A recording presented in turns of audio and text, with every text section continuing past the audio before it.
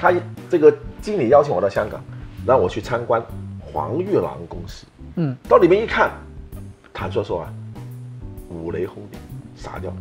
我们是美院出身啊，我们满脑袋都是经也精英作品啊经典油画啊全因素素描、准确造型啊生动的速写，是吧？啊一到那个现场，九十年代中，一到了现场一看，哦，一个主创人员然后下面一在里面，不是不是，他是这样的，有在里面，在一个主创人员在里面啊，这个主创人员呢是疯疯癫癫的，啊，颠三倒四的，啊。但是他每天都必须出一张纸，啊。因为他每个星期都要出一本薄册子，啊。这个纸呢，他这个主创人要先规定，啊，呃，主角一、主角二、主角三、嗯主角四，各种角色全都配好，嗯。然后呢，每天出一张纸，就打格格、铅笔画，各种各样的动作，嗯。一出来以后，底下分什么组啊？比如说这个叫道具组，嗯。这帮人就专门画各种道具、啊。各种武器；那个叫衣服组，他专门画各种衣服，嗯，啊，那个呢是什么？背景组啊专门画房子啊、就分工天气啊，分工而且那个时候还没有电脑，是不是？啊对，这个我还看到这样的分工还有。上色啊，有一个年轻人，每天干什么呢？就拿个白纸，拿个钢笔点点满一张纸。我说点来干嘛？点完以后剪下来贴着做后背景。另外一个人呢，画放射线，擦擦擦擦擦擦，剪下来贴。还有一个色彩组，另外啊全分工的嗯啊，我是这样生产的。这是啊，这样生产有个好处啊，我们现在最重要的是主创人员呢、嗯。然后每个人进来做学徒啊，收入啊，在任何一个局部他都是 number one 的，嗯。不过他做不了全部的。嗯，对。然后就把我原来关于美术学院的那种教学全部干掉。嗯。但是回来想，我们什么时候也能够这样组织呢？超前想法没办法实现，所以才有了刚刚我说的那一套量化。很难很难，在国内没有这个产业链的话，这个做不成。对，当时我是觉得能不能这样去，所以呢，当时就对卡通留下很深的印象。嗯之后我的同学跟我同年的，居然就推卡通一代，嗯在广州，嗯就是一种平勾线平涂。嗯当时他们的形象背景其实还是电玩，嗯还是电玩，我就积极参与，我还策展。啊当时我的策展呢，我还记得我的策展的那个展览叫做“走向生活”。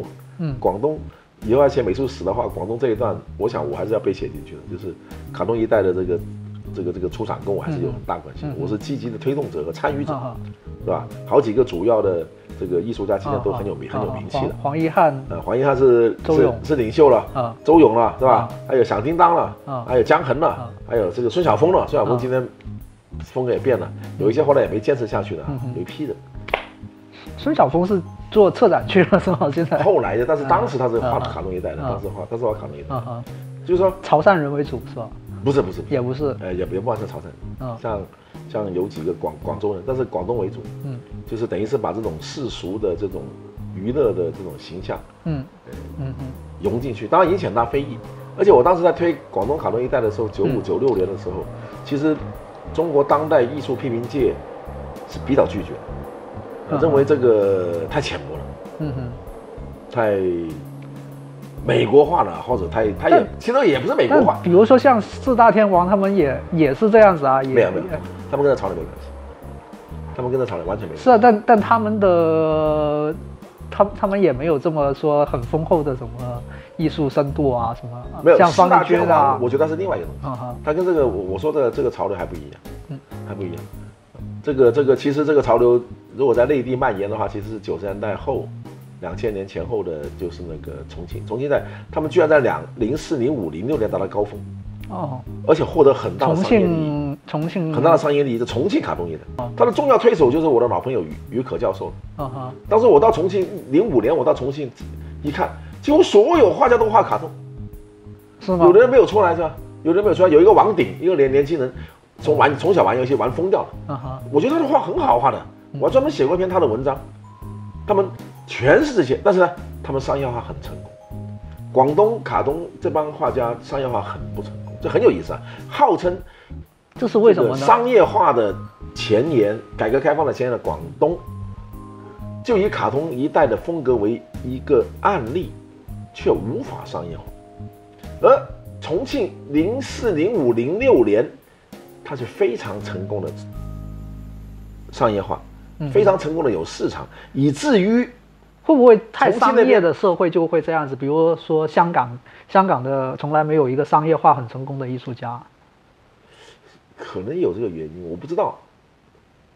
因为珠三角的人讲粤语的人一般还是地域性收藏画没什么兴趣，嗯。他们对于当代艺术的爱好肯定不如上海人。嗯哼，呃，收藏热也好像不如内地。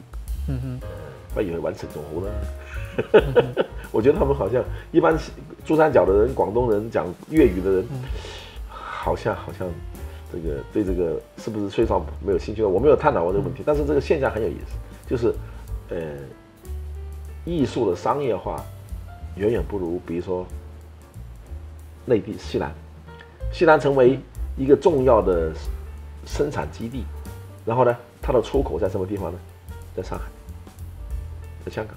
嗯，所以我们常常在香港看到很多西南画家的作品，比如说西南著名的画家周春阳，他的画在香港就很有市场。嗯嗯嗯嗯嗯。所以西南，所以我跟我在艺术界这么多年，我觉得西南那方面的人在这方面做生意，其实比广东艺术界成熟多了。广东艺术界，我不知道什么什么原因，广东是另外一个城市嘛，大概国画圈子嘛，这个笔会嘛，这个炒作嘛，是吧？嗯哼，这个潮汕人这个画国画的这个很好的一个圈子嘛，互相炒嘛。以至于我都认为画国画要会潮汕话嘛，在广东。嗯哼，但后来像北方很多画国画，他也走，你觉得？就因为中国的当代艺术很强调这个。自己所拥有的这个中国背景，希望不要复制西方的这个话语。那您觉得国画结合这个潮流文化、卡通漫画这些，是一条路吗？其实国画家画卡通反而是不成功的。啊哈！如果他要坚持国画的这个技法，嗯。就就例子我就不举了啊哈，就很纠结在这个所谓要不你就画国画啊，中国中国语言的这个，要不你都画国画，这国画是另外一个问题，就是用的是国画的材料技法，但去像画卡通没成功。嗯，那么卡通的的确确对于广州来讲，它跟电玩真的有关系。嗯，而且最早冲进广东的，冲进全国的。日本最重要的形象就是美少女，嗯，所以我至今为止，我一直跟很多搞美术、呃当代美术研究的人都一直跟他们说，不要管潮流和命名。但是我的老朋友黄一汉先生在九六年到九七年的两件作品，我认为是应该写进美术史。嗯哼，第一件作品，两件作品都是装置。第一件作品就出现在一九九五年我策划的那个卡通一代的展览上。嗯哼，就第一届所谓的第对第一届。那个那个那个那个名字叫做《美少女大战机器人》啊，整个装置很简单，就是黄一汉做的是一个象棋棋盘，嗯，发光的象棋棋盘，嗯，两边摆象棋，对不对？这一边是美少女，那一边是机器人，嗯，都是玩具，全是玩具。参观的现场，很多小孩过来想抢这个玩具玩，他就是玩具，就买一堆玩具，但是。我为什么说这个是有代表性的？这个很这个很有意思，这个表现了当时的重要的情境。象棋棋盘在中国嘛，嗯，它代表中国，对不对？嗯。但是在中国这个土地上，互相争霸的却是美少女和机器人。嗯哼。一个是性感的，一个是机器人暴力的。嗯。机器暴力和性感在中国土地上对决，我觉得这个太精彩了，这个可以说是形容的很恰当。他的第二件作品。黄一涵第二件作品出现在第二次展览上，叫人骑人。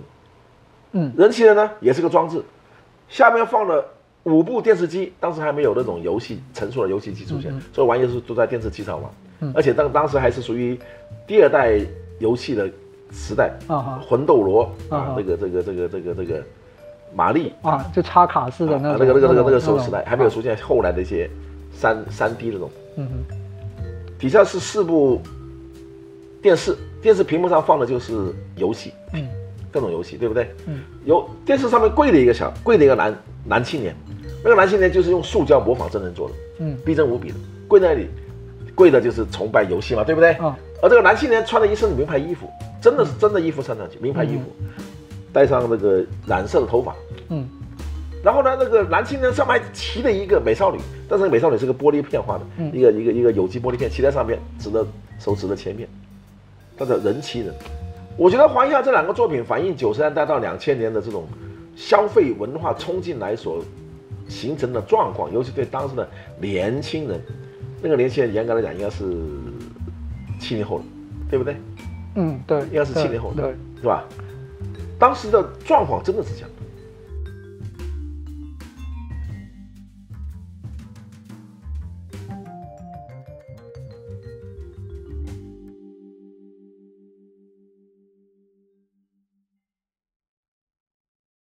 下